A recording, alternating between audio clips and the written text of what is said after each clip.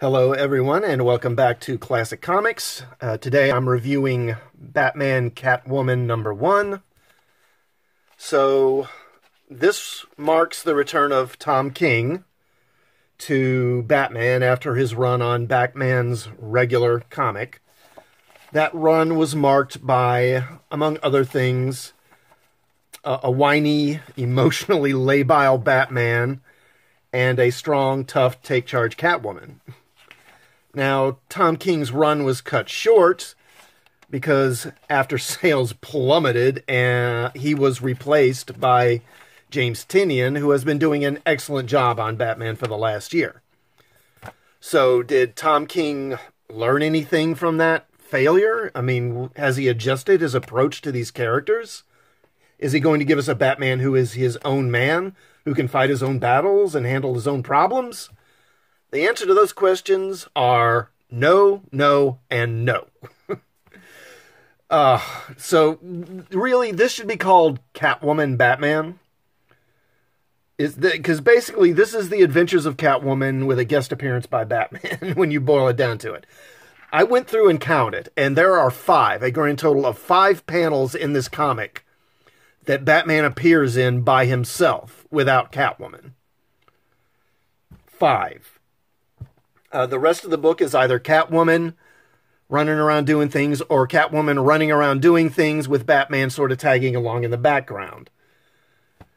Uh, you know, it seems like King doesn't really even want to write Batman. You know, he wants to write Catwoman, but a Catwoman book won't sell, as well as a Batman book will, so he sticks Batman in here because, uh, you know, he thinks he can hoodwink people into thinking they're getting a Batman book, which he's probably right.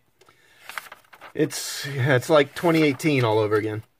So the art is by Clay Mann, and he's what can you say? The guy is good. Uh, he uses a lot of 3D modeling in his work, and the figures are a bit stiff sometimes. But man, I mean his his art is really pretty to look at. I mean, you got to admit that.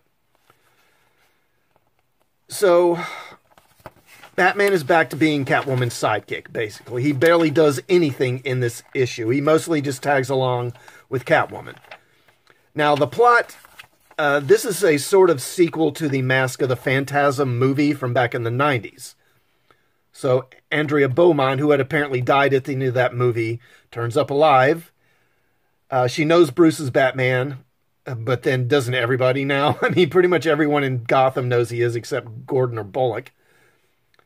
Uh, so her 14 year old son, uh, her 14 year old son has run away and she thinks he's in Gotham and asks Bruce to track him down. So what does he do? He asks Bat, or excuse me, he asks Catwoman to do it for him, basically. Because even though he's the world's greatest detective, she's obviously going to be better at this sort of thing than he is, right? Uh, I mean, I won't even bother with the details of the plot because well, first of all, who cares? and because this thing jumps around through at least two, maybe three different time periods, and honestly, it's kind of confusing, and I just don't care enough to try and unravel it all.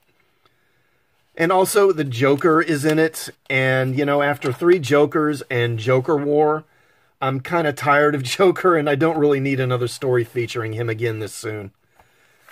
So, you know, to sum up, if you didn't like King's run on Batman, and who did, then you really won't like this either because it's just more of Tom King doing Tom King things.